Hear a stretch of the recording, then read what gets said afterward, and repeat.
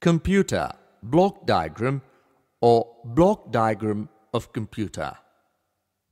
In our earlier session, we have discussed that electronic circuits perform calculations or computation.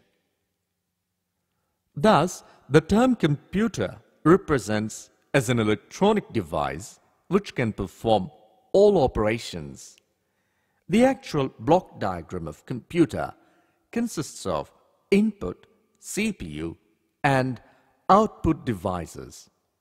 Computer is fast devices which accepts large amount of input data with a program. It stores data in memory. It produces final results in the form of output. The CPU, or central processing unit, is the heart or main part of the computer. CPU is similar to the center nervous system of the human body.